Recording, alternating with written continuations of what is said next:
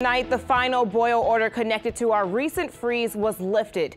Terrebonne Parish officials sent out the alert just after 6 o'clock that the order was lifted for all areas of the parish. Officials in St. John the Baptist and Lafourche parishes announced the advisories there ended just after 10 this morning. In New Orleans, the Sewage and Water Board tweeted that pressure was continuing to climb, but it is still below normal. Officials are urging people to conserve their water usage this weekend or pressure could drop so low that another boil order could be issued. The latest information from the city claims crews are working around the clock to find and repair leaks.